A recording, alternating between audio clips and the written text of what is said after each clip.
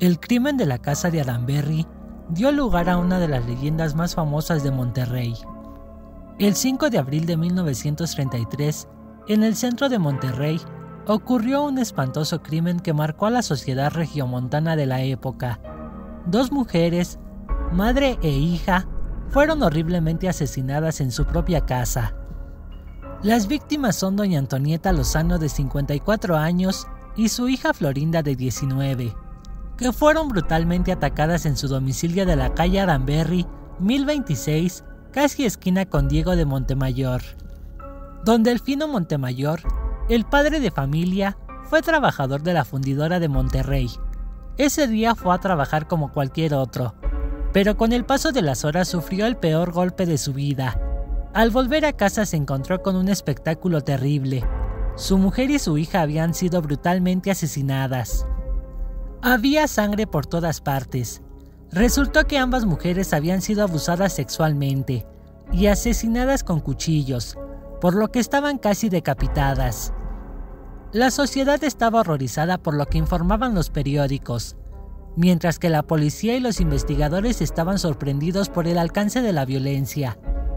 Tras las autopsias, los cuerpos de doña Antonieta y la joven Florinda fueron enterrados en el Panteón de Dolores, los investigadores analizaron la casa y todos los objetos de su interior. Lo primero que notaron fue que no había señales de entrada forzada en la puerta. De alguna manera el asesino o los asesinos entraron con el consentimiento de las víctimas. También confirmaron que faltaban objetos, por lo que el motivo del robo era real. Pero la pista más importante para las autoridades llegó de forma increíble. Un loro mencionó el nombre de uno de los asesinos. Durante la lectura, un loro que la familia tenía en la casa comenzó a decir una frase de forma desesperada y repetitiva. No me mates, Gabriel, no me mates. Este fue un buen punto de partida. Los investigadores empezaron a investigar y pudieron identificar a un sobrino de la familia, Gabriel Villarreal. Fue detenido inmediatamente y confesó el delito, al igual que otras dos personas que también fueron detenidas. Sin embargo, hay otra versión que rechaza la implicación del oro y señala que la detención se produjo gracias a las pesquisas de los investigadores.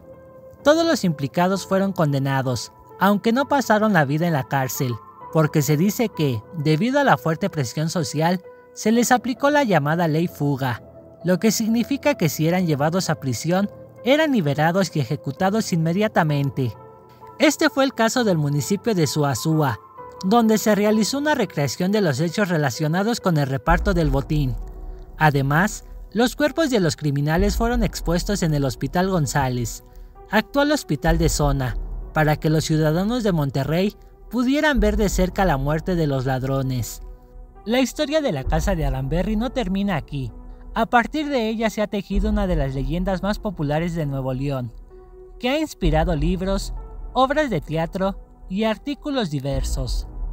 Y no solo eso, se dice que hay actividad paranormal en torno a esta gran casa, un aspecto que ha traído a curiosos, periodistas e investigadores paranormales de la región y del resto del país.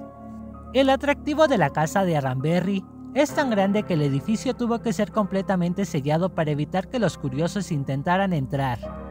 Lo cierto es que este crimen sigue siendo uno de los más impactantes de Monterrey. Junto con el caso Santoy, el caso Castrillón, la familia Guillón o el del doctor Alfredo Valli. Y bueno amigos, hasta aquí el video. Si les gustó, no olviden dejar su manita arriba y compartir el video si es que lo desean. Activar la campana de notificaciones para que se les avise cuando subamos un nuevo video. También no olviden suscribirse a este canal. Por mi parte, esto sería todo. Nos vemos hasta la próxima.